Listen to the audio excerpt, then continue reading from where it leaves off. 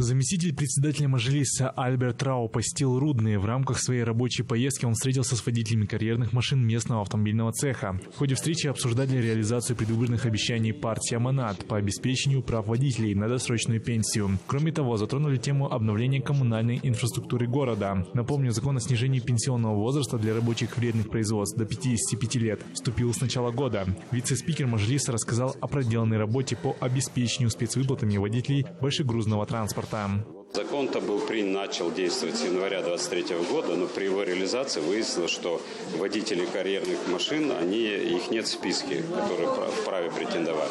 Вот. И вот 6 месяцев я потратил, приказ фактически уже прошел все согласования, осталось буквально там последний один шаг.